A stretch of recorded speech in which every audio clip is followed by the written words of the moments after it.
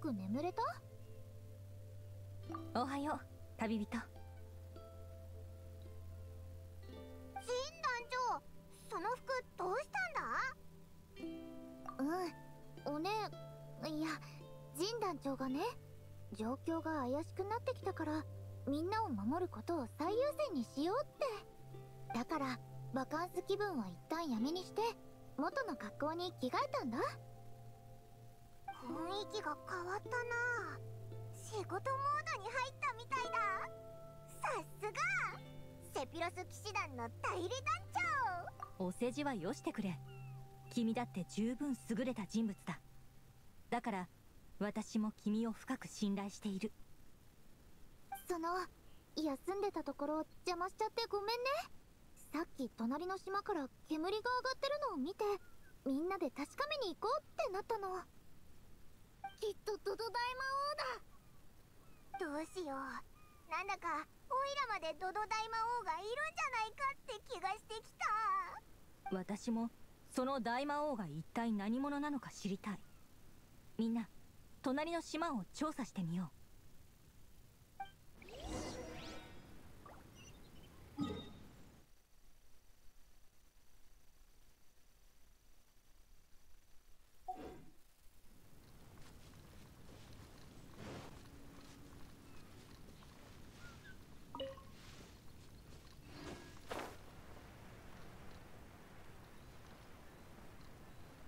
無能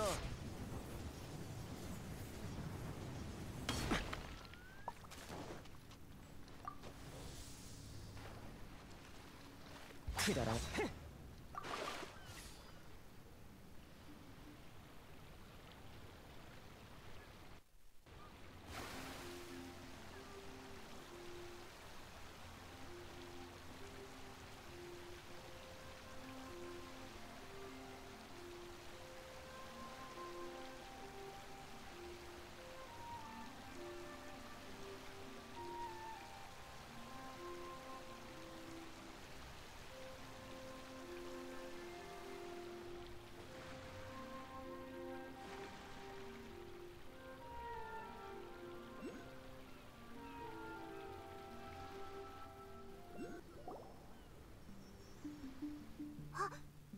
に人影があって。あ？あれって。うん。うん。知ってる顔じゃないか。ガイオ兄ちゃんと変わった大人の人だ。よう。こんなところで会うとは奇遇だな。ガイアとディルック先輩？どうしてここに？あれ？大魔王じゃない？大魔王。やはりか。どうやらお前たちもその大魔王に呼び出されたみたいだな。実は俺たちもなんだ。もってことは？まあ大魔王のことなんかひとまず置いておこう。今の俺はこの夏の太陽を満喫したい気分なんだガイアとディルックの旦那は船で来たのか？でも嵐と霧がすごかったろ？大丈夫だったのか？嵐と霧？俺たちは運よく霧が晴れた後に着いたんだ。最初からバカンス日和のいい天気だったぜ。だが知っての通りただの船じゃここには来られない。だからお前たちと同じ方法を使わせてもらった。えお前たちもトワリンに乗ってきたのか？今さら驚くことじゃない。巨竜が飛んだんだ。あれほど目立つ存在。とっくにモンド中に知れ渡ってるぞ。みんなに見られていたのか。安心しろ。背中に人がいたというとこまでは見られていない。ただ竜が飛んでるのを見られただけだ よかった。しかしあの銀融詩人に竜を従わせる力があったとはな。まさかまさかトワリンは古典音楽の愛聴者なのか？なるほど。はあでここには2人きりで来たのか？おやおや代理団長も冗談がうまい。俺がわざわざ旦那様と二人きりで来るように見えるか？ち俺たちの他にもあと二人いたんだがいろいろとあってな。途中ではぐれちまったんだ。いろいろ？チームワークに欠けてたというか個性が強すぎたというか 旅人は相変わらず鋭いな。その通りだ。その二人って誰なんだ？アルベドとレザーだ。え？アルベドお兄ちゃんとレザーが来てくれたの？やったー！お前たちやっぱりバカンス気分で来たんだろ！待った。ガイアがここにいるということはセピロス騎士団は今誰が管理しているんだ？それはもちろん偉大な図書館司書リサ様だよ。安心しろ。ある意味リサは俺らより手厳しい。モンド上で悪いことをする奴に同情しちまうくらいにな。よかった。リサがいてくれたか。それでアルベドとレザーはどこへ行ったんだ？それにさっき見た湯気は何だったんだろう？それにはまず俺たちが置き去りにされた理由から話す必要がある。俺たちが竜に乗ってこの群島の上空に着いた時レザーが何かに吸い寄せられるかのように急に竜から飛び降りたんだ。レザーが心配で俺たちもすぐ飛び降りたんだが風の翼で着地したこの島には誰もいなかった。俺の経験上その場で戻ってくるのを待つべきだと思ったんだがレザーが俺たちを探しに戻るはずがないとディルックが言い出してな。互いに持論をぶつけ合っていたらいつの間にかアルベドまで消えちまってたってわけさ。待て待て。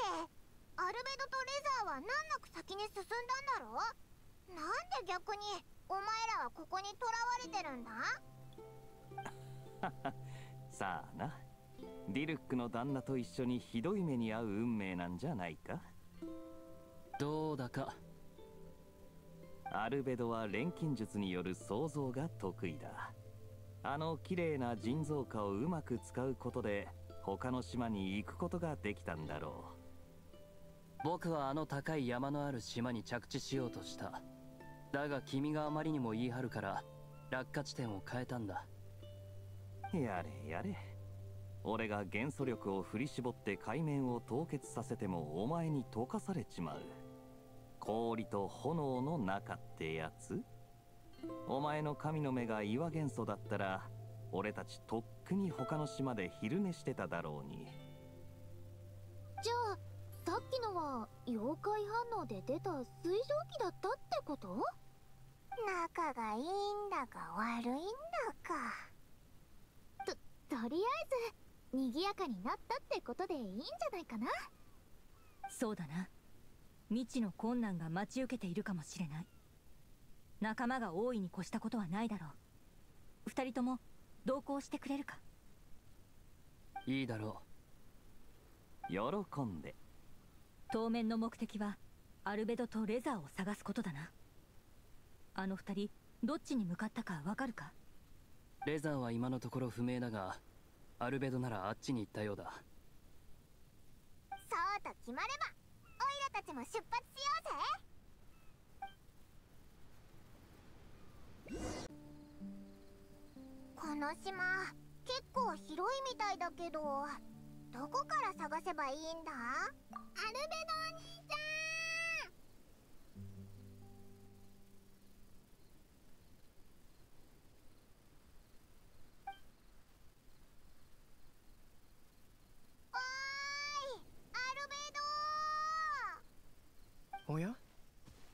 旅人とパイモン？うわ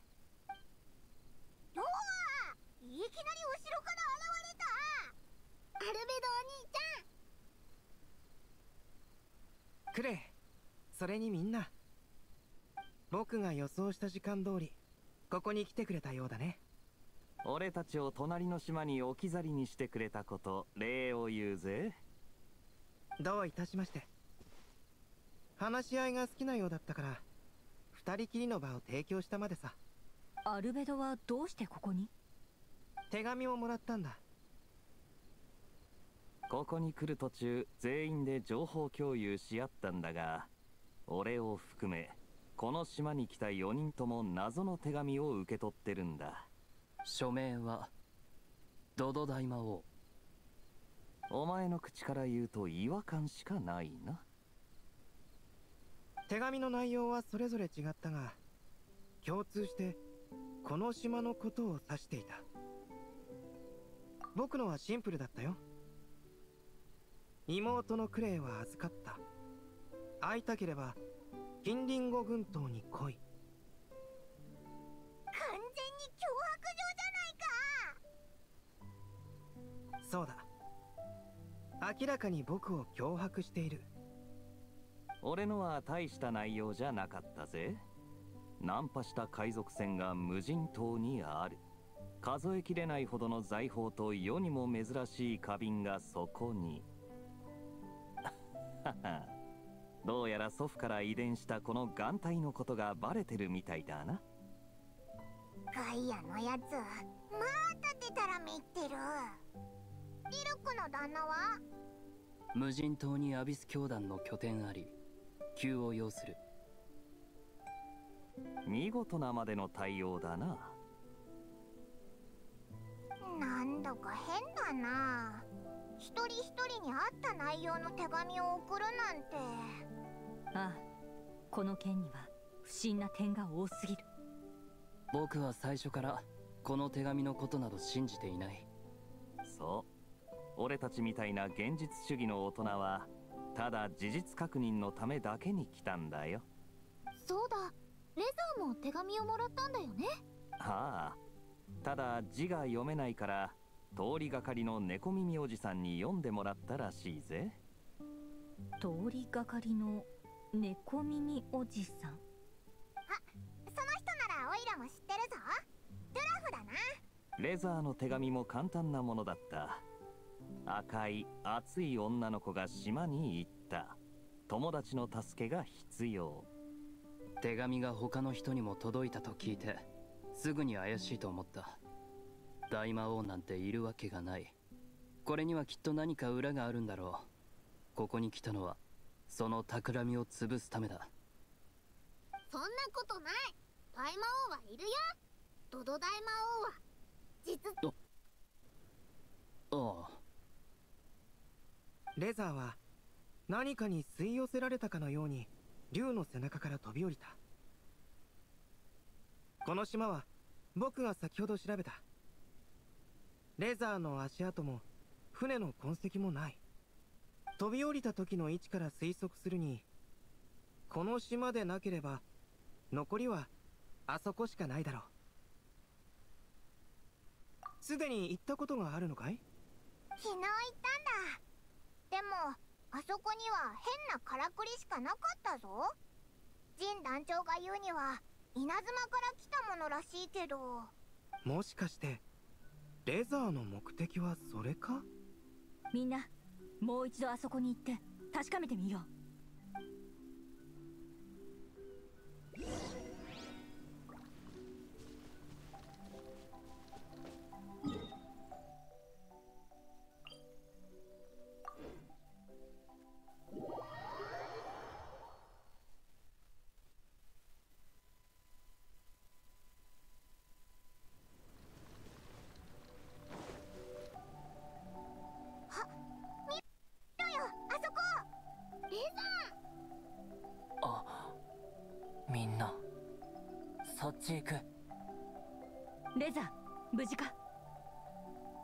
怪我はない？治療は必大丈夫。平気。匂いがした。これやる。ーなんだこれ？機械の部品？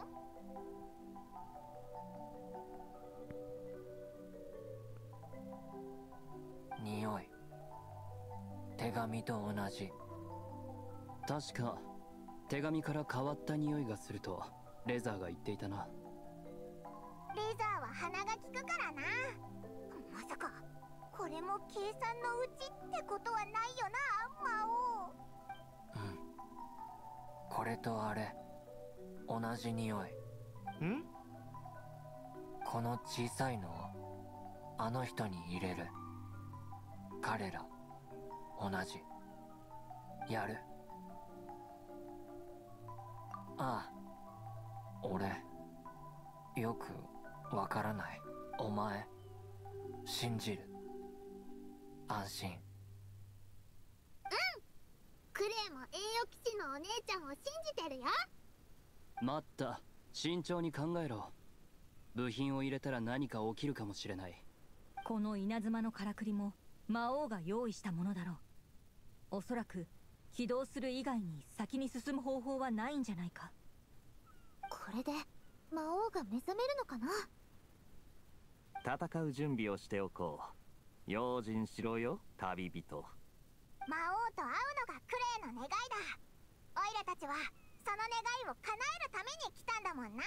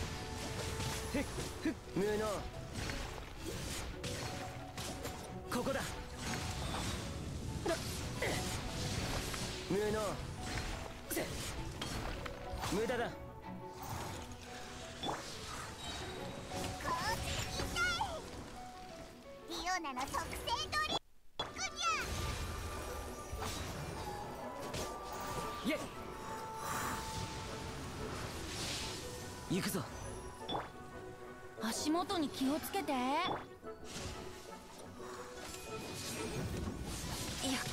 そんな。ほれ。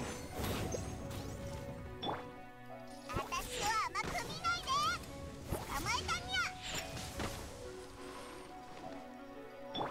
風だ。くだらなわめくがいい。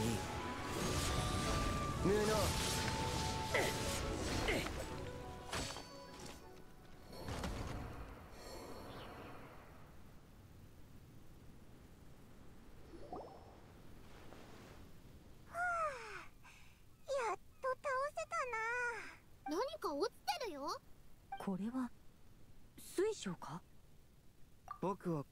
信頼してくれているとはね。ただ水晶の前にまずはそのからくりについて説明しよう。みんなの推測通りあの稲妻の巨人は人間を模して作られたからくりだ。戦闘用なのか？遺跡守衛と似てたよな。おそらくね。相当の戦闘力を持っていたが指揮系統が壊れていたんだろうだから無差別に攻撃してきた。外見的特徴からして稲妻のものでまず間違いない。だが私の知る限り稲妻は現在鎖国中のはずだ。このような巨大な機械をどうやって運び出したというのだ？その質問はこの島にいた人に問うしかないね。人？みんなのことだもう気づいているだろう。今は無人島だがここ一帯には人間の痕跡がある。僕が思うにこの島にはもともと誰かが住んでいた。しかしそれは原住民というわけではなく外から来た何者かであった可能性が高い。その外来者たちは長い時間をかけて軍島から脱出する方法を見つけたのだろう。その結果今この島には誰もいない。代わりに痕跡があちこちに残っているというわけだ。そしてその水晶はうん。希少な鉱石で作られた結晶体だね。光を透過するということは何か特別な使い道があるのかもしれない。この付近で積み重ねられた石と花を見かけたんだけどそれも何か関係があるのか？聞いた感じ。誰かがからくりを弔っているようだが。うん。でも私が見たところなんというか誰かが感謝の気持ちから祀ってるみたいだった。なるほど。みんなは？一体どのような人物がこのからくりを祀ったんだと思う？恩恵を受けたからこそ感謝する。だから旨味があった人の行いだと思うぜ。からくりがここで外来者と一緒に暮らしていたならわからなくもないまあこれはあくまで僕の推測に過ぎないが。一緒に暮らしてた壊れてしまう前に一体何があったんだろう。ここはヒルチャールが頻繁に現れる。このからくりが無差別に攻撃したおかげでヒルチャールが退治され人々を守ったんじゃないか。面白い偶然だなだが推測の域をではしない。真実の物語を知るにはもっと証拠が必要そうだ。ああガイアの言う通り証拠が不足している。後ほど辺りを探索することにしよう。ひとまず今は目の前の問題を片付けるのが先決だ。またお手紙だ。きっとトド大魔王からだよ読んでみてくれ。神秘の魔王神秘の魔王南西の島で一人眠る。悪しき子が我を待たせ夜が訪れ星が昇る。欲深き精霊欲深き精霊月がぐるりと回る。三色の鍵を持つのは恐ろしい魚。秘密はそこに。ここまでおいで。新しいヒントだろうか。何を意味してるんだろう。さっきの水晶と関係があるのかな。それに南西の島っていうのはどれのことを指してるんだろうな。立ったまま考えるより足で調査した方がいいだろうでもここの島は全部歩き回ったぞ。気になるところなんて。ううんあるよ。あっちに変な島があるんだ。上に大きくて丸いものがあるの。クレンまた一人で勝手に歩き回ったのか？あうごめんなさい。クレアはただ変な装置に触れさえしなければいい。ここが開けた場所だとしても一人で行動するのは危険だ。クレ次どこかに行きたい時は私たちを呼ぶんだぞ。いいの？でも神団長は忙しいでしょ？構わない。わかった。相変わらず真面目だな。神団長クレイの保護者みたいだな。でも同感だ。ガイア。悪い悪い。つい代理団長をからかってしまった。さて旅人あっちの方を探索してみようぜ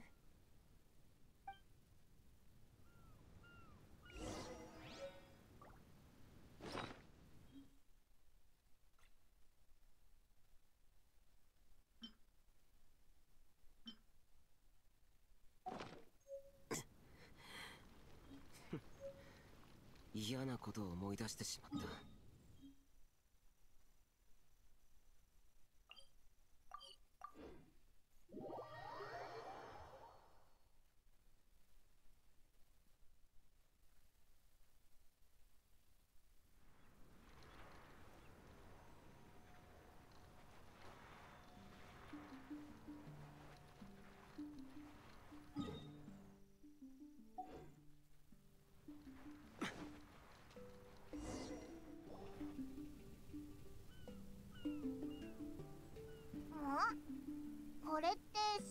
か？でも硬くはないな。一種のエネルギーの層だ。むやみに触ると吹き飛ばされるかもしれないぞ。こんなに大きなシールドってことは？この中に誰かいるんでしょおーいクレイだよ。ドドダイマー出てきて返事がない。この中にはいないのかな？ううんきっといるよ。シールドが大きいのが原因。ドドダイマ王が悪い。どんな理屈だよ？でもクレイが言ってることは間違ってないんじゃないかな。こんな巨大なエネルギーの層だもん何か秘密があると思う。合理的な推理だ。僕もそう思うエネルギーの層である以上どこかにエネルギー源があるだろう。その供給を断てばシールドもなくなるはずだ。まずはこの周辺に怪しいものがないか探してみよう。クレイ出発！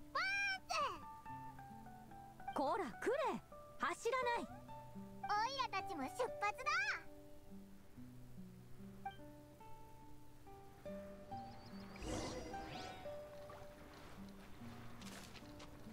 行くぞ。こ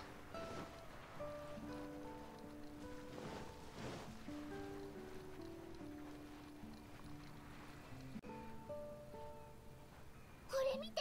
これこれ。うー。ん何かの装置みたいだな。3つの装置から光が出ていてそれが同じ場所に集まっている。これがシールドを解除する鍵だろうか。ふん光を出す3つの装置か。そしてその前に小さな台座がある。この形はクレイ全然わからない。誰か説明して。不完全な円。いや扇形か。なんだろうな。海が近いからもしかすると貝？けど私たちが普段見るような貝とはサイズが違うみたい。貝じゃないとしたらそうだな。鱗とか。鱗？どうして鱗なんだ？それとも何か見落としている手がかりがあるんじゃないだろうか？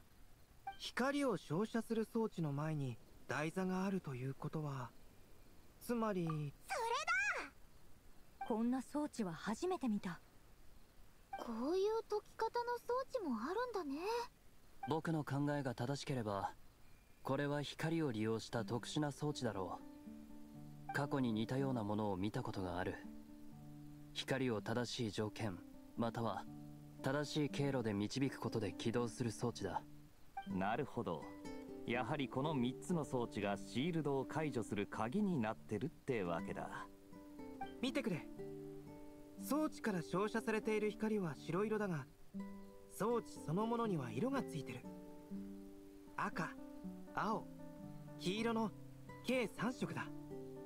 手紙に書いてあった。3色の鍵を持つのは恐ろしい魚。これで当たりだな。栄誉騎士さっきの大きいのから何か手に入れたよね。花弁のような薄紅波のような水色。秋の葉のようなウコン。どうやらこの3つの水晶が謎を解く鍵のようだ。この水晶を欲深き精霊に捧げる。ということだろうか。旅人水晶を海の近くに置いてみたらどうだ？欲深き精霊とは海を泳ぐ魚のことを指している可能性が高い。水晶に引き寄せられた魚から鱗を手に入れるのではないだろうか。なるほど。確かにそうっぽい。さっきあっちにすごい大きなカイラがあったぞ。お魚もたくさん泳いでた。水晶を置くならそこがいいと思うぞ。浅瀬だったし万が一失敗しても水晶を回収できるはずだ。失敗しないよ。そんなこと言わないで悪い悪いそうだよなきっと成功するじゃあ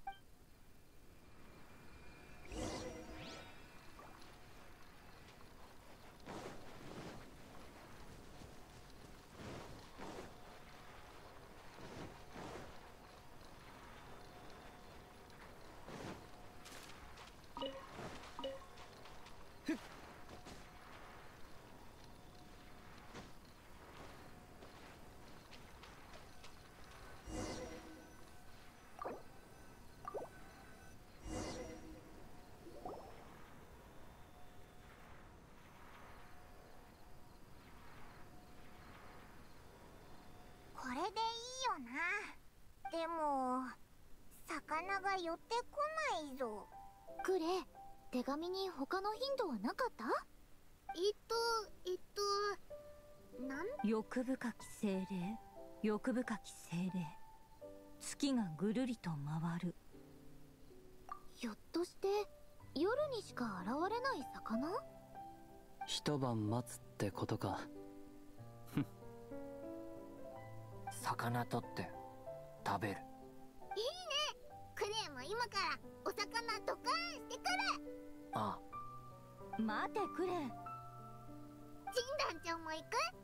どこか行くときは一緒にって約束だもんね。行こ そうだな。じゃあ今回は特別にクレイと一緒にお魚をドカーンするとしよう。え今なんて？ジン団長がお魚をドカーン？お魚は美味しいからやりがいがあるよ。ここは無人島だし爆弾で人を怪我させることもないだろう。多少は甘くしても問題ない。お魚お魚？出発！あっち魚いっぱい。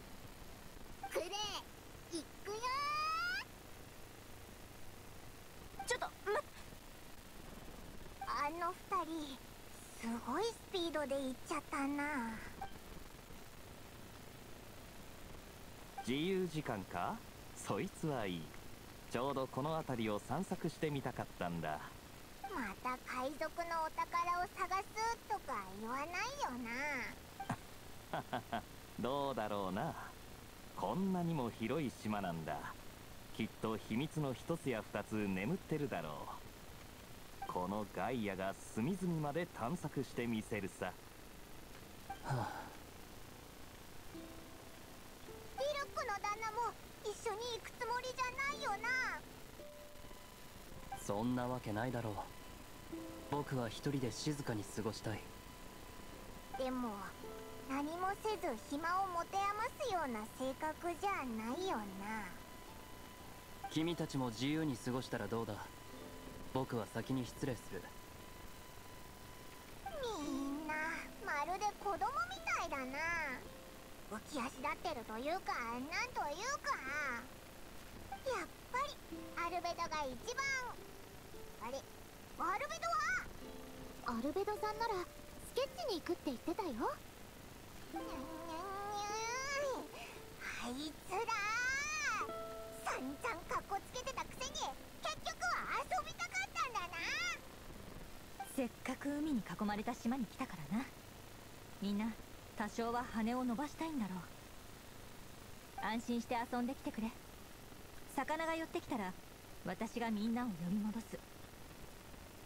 この島に来た理由はみんなそれぞれ単純なものではないがこの海から眺める景色が素晴らしいのは事実だ。旅人も疲れただろう。今のうちにゆっくり休むといい。いや私はただ。とにかく君には楽しく過ごしてほしいんだ。この先に何が待っていようと。私がみんなをクレイを守る。これはセピロス騎士団の代理団長としての務めだ。ジン団長は相変わらず頼もしいな。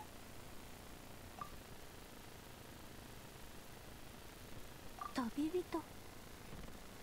ありがとう。そう言ってくれて。嬉しい。おしゃべりはここまでにしよう。親愛なる旅人。君と私がこの砂浜でひとときの安らぎを得られることを願う。